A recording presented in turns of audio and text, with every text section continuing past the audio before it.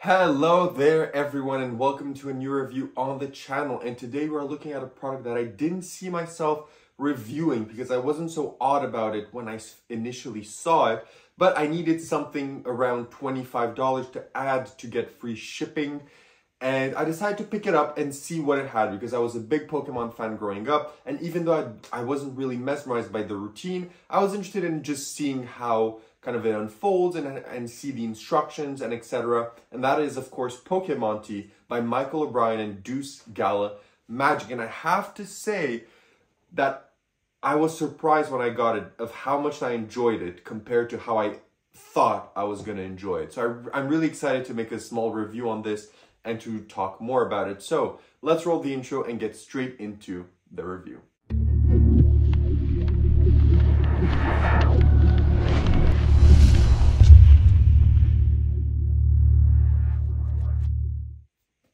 Perfect. So you decide to stick around, which means you want to learn more about Pokemonte. Now, what is Pokemonte? Pokemonte is the classic uh, kind of Monty routine. You know, the older one that had the like the blue diamond and the red diamonds and you had to always find the odd one out. I believe the odd one out is always the blue diamond. And then every time you would have all of them being red, all of them being blue, but then all of them being red again. And then you would do then another phase and you would show that one of the cards actually says, hold up, you owe me $14. So it's a classic spin on a very, uh, you know, classic trick of color Monty, but spinned with Pokemon cards, which I think is interesting to some. So uh, to better explain to you, what better way than to do a small performance? So let's run a clip of me doing the effect for you. Okay, so let's do a small performance of Pokemonte. So what I have here inside of the wallet is I have uh, three cards, three Pokemon cards. Is anyone here familiar with Pokemon?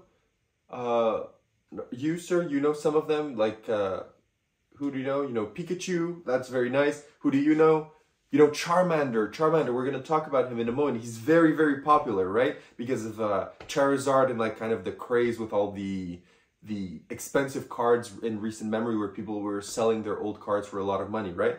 And so I see there's some people that know a bit and some people that don't know. So from the people that don't know, just so you know, there's uh, fire, water, and earth that you get to choose from at the start of kind of the game. So you, ma'am, what would you choose if you were to choose fire, water, earth? You choose water. Now that's very interesting because most people choose fire and the least people choose earth. So water is kind of in between and that's very interesting. We're going to get to that in a moment.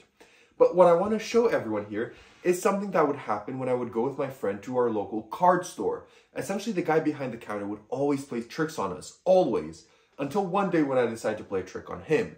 So essentially what he would do is he knew I really liked to play Pokemon. So he would always make sure that I don't get what I want. So he had a different choices. He had Bulbasaur, so you could choose Bulbasaur, which is the one that no one wanted. That was the Earth. You could choose Charmander, which is the one that everyone wants, which was the fire.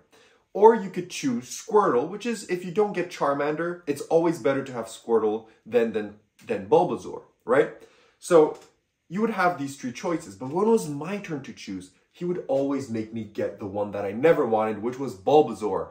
So let's say I would say I want the card on the bottom. He would show me, oh, well, you got Bulbasaur. So then, let's say I would say, okay, but then give me the card on the top. Well, the card on the top was Bulbasaur as well. But then let's say I would say, okay, uh, give me the card in the middle. Then he'd say, okay, the card in the middle is, well, Bulbasaur. So you get to choose Bulbasaur. So he would always play that trick on me. Then for my friend, he would go in between. He would tell them, so where do you want? If my friend would say on the bottom, well, he would get Squirtle. If my friend would say, well, I want the top, then he would get Squirtle as well. And if he were to choose the middle, well, my friend would get Squirtle as well. And then when it, it was his turn to choose, he would always make sure he gets Charmander. So if he were to choose the bottom, well, guess what? He would get Charmander. If he were to choose the top, he would also get Charmander. And if he were to choose the middle, he would also always get Charmander. So it was impossible to win. So then at one point we told him, okay, but you're using nine cards, you're tricking us. And he would say, no, no, no, look, I'm using one, two, and three cards only, nothing more, just three cards. So then we were kind of annoyed. So he would say, okay, guys, I'm choosing first. So I'm choosing Charmander because I get to pick first, I get to choose Charmander.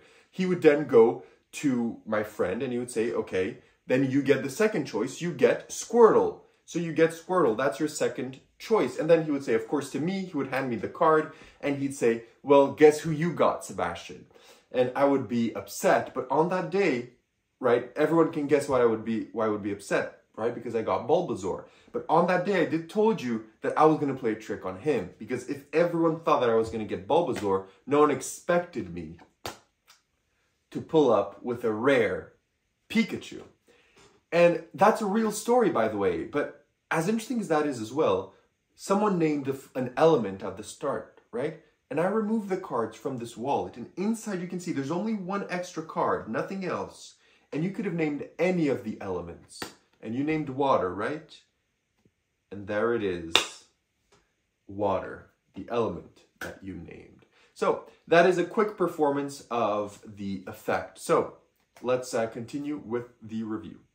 Okay, so now that you've seen a performance of Pokemonte, let's talk about where you buy this, how much does it cost, and what do you get. So you can buy this pretty much anywhere. It's available at uh, pretty much any magic store. I got mine from Vanishing Ink, but if you want, for example, to get yours from Alakazam Magic, you can use the discount down below. You can also get it directly from Michael O'Brien at Deuce Gala Magic uh, directly if you so want, or maybe from your local magic shop as well. This will set you back 25 USD, which is around 32 Canadian dollars.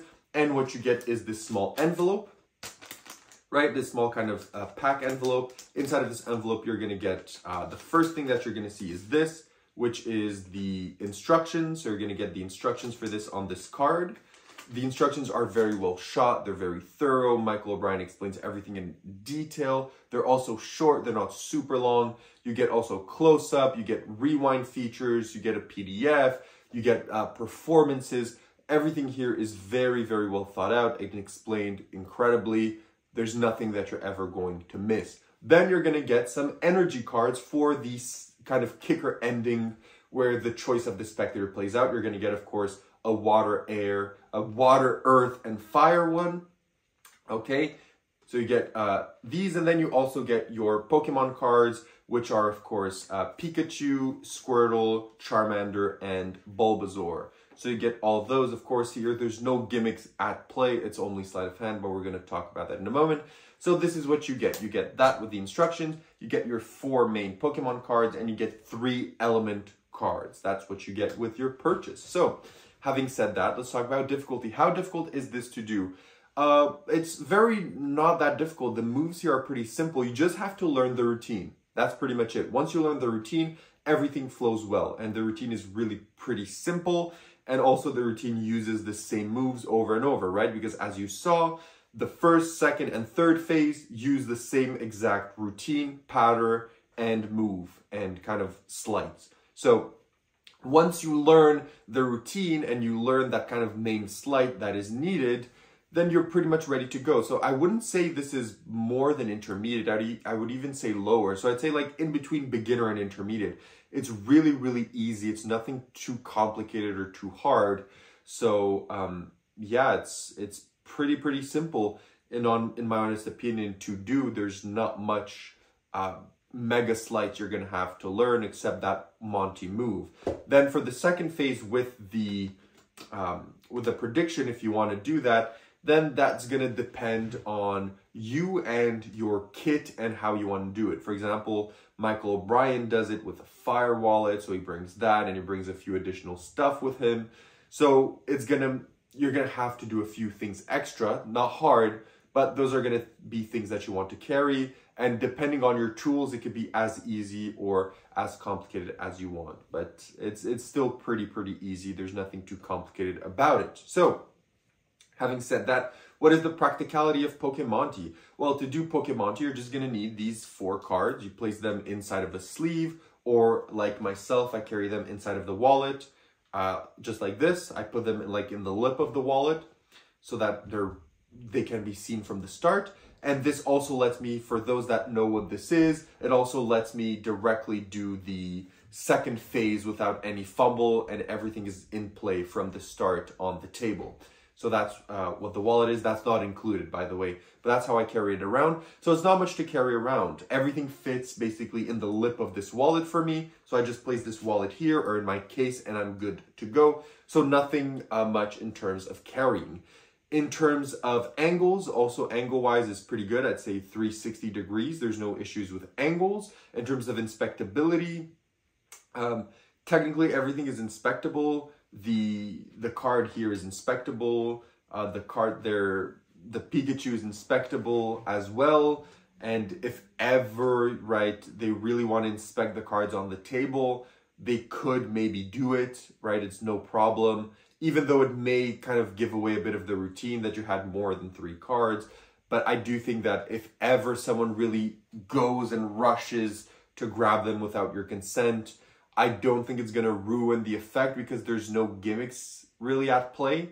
And I think that even the Spectre, right, depending how you frame it, because for me, I frame it like that guy was tricking us, right, by doing some sleight of hand and always having us choose the bad one. So the fact that they're going to see there was four cards technically uh, with the Pikachu doesn't really deter. But I wouldn't really have them inspected. I would just, after I produce Pikachu, just remove them, place them in my pocket, and then do the second phase. But if ever someone, you know, rushes to grab them, I don't think it ruins uh, the effect that much. So they're inspectable because, uh, as I mentioned, they're just normal Pokemon cards, right? So saying that also regarding refills, right? If you want to do this effect, you're maybe thinking that, oh, you're going to have to buy uh, the trick again. And that is yes. If you want to do it with these specific cards, then yes. So if you want to have Bulbasaur, Charmander, uh, Pikachu and Squirtle, yes, you're to have to buy it again.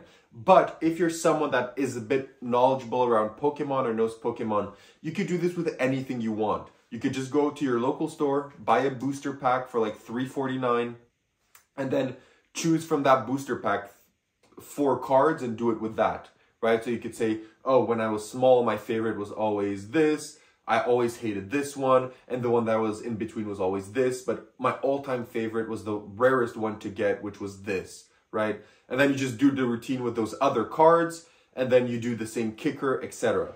So, right, you could do this even with other cards that are not these. which is gonna is just gonna change the scripting a bit of the pattern, the story that you tell, which is not a major issue. So instead of having to buy $25 over and over to get these cards only, you could just go buy a booster pack from your local shop and do it with the cards from there.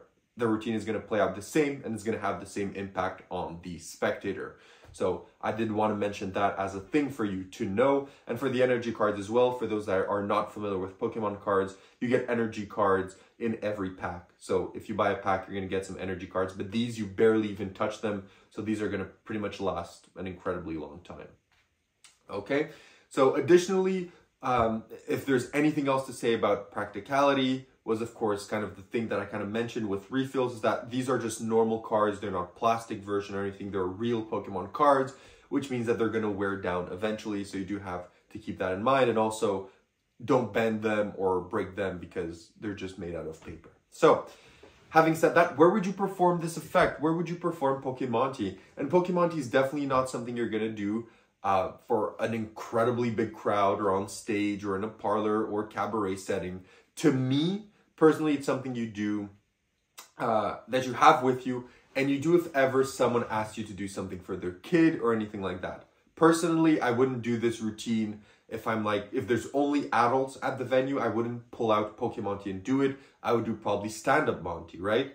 But if ever, because even I, like for those that know, I don't perform for kids, um, because I, am not really good with that. I don't own many kid magic tricks, but I do have one or two in my case in case I go to a table or at a wedding or something and there's some kids. Sometimes the parents are like, can you please, please, please do something for my kid?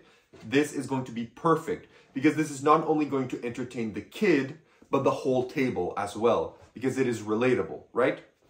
So even though, let's say I know I'm going to perform at a restaurant, right? Like a high-end restaurant, I'm not going to bring Pokemonte with me. But if I am going, for example, I know I'm going to be performing at a family restaurant or at a family gathering or at someone's birthday where people bring their kids or at a wedding where people bring their kids, Pokemonte is always going to be in my case to perform to uh, to have there in case someone is like, oh, can you show something for my kid as well? Or if you meet not necessarily kids, but like early teens, like maybe 12, 13, 14, 15 year olds, this could definitely also be relatable to them as well. So it's nice to have in your arsenal this type of effect. So I would say definitely this works for table hopping, anything like that. It's almost instant reset. There's no issue about that as well. So I would say anything table hopping, anything online, if you want to do this for camera online, for your Zoom shows or for your Insta or TikTok, you can do it for that. But pretty much anywhere table hopping, I wouldn't necessarily do this like on stage or something like that, but really versatile in that regard as well. So having said all of this, what are the positives and negatives of this routine? So one of the negatives since we're going to start with the negatives, is that not everyone is familiar with Pokemon, and maybe a lot of magicians aren't familiar with Pokemon, which is going to make them not want to buy this effect. So if you buy this effect, I would say be familiar with Pokemon. It's going to make the routine 10 times better for you and for the spectators. So that's one thing that you have to keep in mind. And the second possible negative that uh, I can find about this is that even though it, when you perform it yourself, it kind of makes it work better. But I do think that the color Monty move, which is used for the color Monty, is a bit of a fishy move. Uh, for example, when I did this to people closer to me, so not like random spectators, when I was doing the move, they were like, eh? They were like, they didn't say it, but you could see that they were like, what is he doing? So to me, I think that when I saw it in video, it kind of, I had that same reaction. I was like, you know, why is he turning the top card over like that? And I think that once you buy it, you kind of understand why, and it's actually not as bad as you may think, but it's still something that if you're performing to maybe family or friends or people that are familiar with you doing magic, it's going to stand out more to them than it does to a casual spectator. So keep that in mind as well. So having said that, what are the positives of Pokemonte? One, the instructions are really, really good. Two, the routine is really well layered and really well structured in terms of how it works. It's relatively easy as well. The cards that you get are great. Also, if ever you need refills, you can just buy a booster pack and do it with that. Uh, the second phase is also really cool. It comes as a small kicker. The kicker of the routine with the Pikachu card is great because most people only know Pikachu. Even if you know nothing about Pokemon, most people know Pikachu, so they're going to name it. And you tell them, but today I decide to play um, a joke on him with what you said, sir. You said you knew one Pokemon Pikachu, which is why I decided to include a Pikachu, right? So it's really well thought out in that regard. It's inexpensive, it's 360, it plays well for kids and adults at the same time. So it's very nice in that regard as well. So it has a lot of good going for it. So would I recommend Pokemonte and what would I rate out of 10? So this is a bit where it gets tricky because I would recommend it if you are familiar with Pokemon. So if you're someone that loved Pokemon or still loves Pokemon, I'd say buy this because if you love something and you show it to your spectator thinking that, oh, they may not like it because it's Pokemon, it's, it's not going to appeal to anyone. If you're invested in it and they see that you're interested in it, everyone knows about Pokemon or they've heard about Pokemon anyway. So it's still going to be a good trick.